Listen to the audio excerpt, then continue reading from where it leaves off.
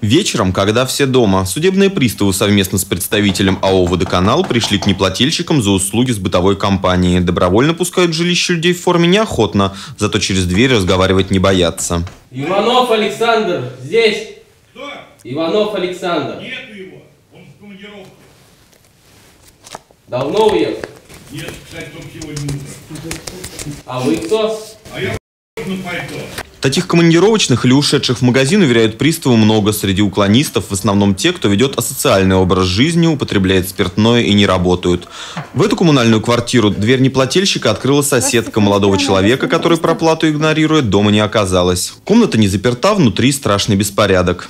Вот еще один адрес. Девушка утверждает, что муж ушел на работу и запер ее дома, ключей нет. Я вам говорю, не могу делать.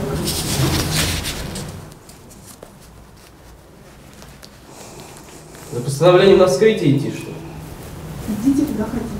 За услуги водоканала платят особенно неохотно, ведь по закону отключить воду коммунальщики не имеют права. В этой квартире мужчина не хотел открывать дверь, боясь, что ему перекроют краны.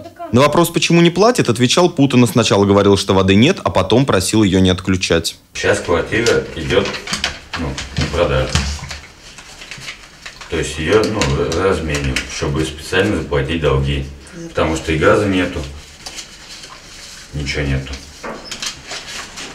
Сейчас готовы какую-нибудь сумму заплатить? Сейчас нет у меня денег, извините. Как правило, судебные приставы приходят к тем, у кого нет счета в банке, оплатить надо. Водоканалу, например, ивановцы задолжали около 100 миллионов рублей. Половина неплательщиков уже в списках судебных приставов. В настоящий момент в управлении Федеральной службы судебных приставов находится порядка 5 тысяч исполнительных производств на сумму э, около 50 миллионов рублей пользу акционерного общества «Водоканал». Э, Чтобы накопить такие долги, стоит только 1-2-3 месяца не платить за воду, и вот у тебя долг. Свои меры борьбы с должниками есть и у самого водоканала. Нам приходится применять такие меры, как ограничение водоотведения. То есть мы э, устанавливаем заглушку на индивидуальный канализационный отвод абонента и блокируем частично отвод канализации в городскую канализацию. Мера эта, тем не менее, применяется не всегда. Жильцы в этой квартире задолжали 20 тысяч рублей. Теперь приставы пришли арестовывать имущество. В счет долга забрали смартфон и ноутбук. Чтобы вернуть их обратно, неплательщик должен покрыть задолженность в полном объеме. Сейчас на данный момент мы арестовали имущество. А, Далее, э, если должник э, в течение 10 дней э, приходит оплачивать задолженность, то имущество мы возвращаем должнику.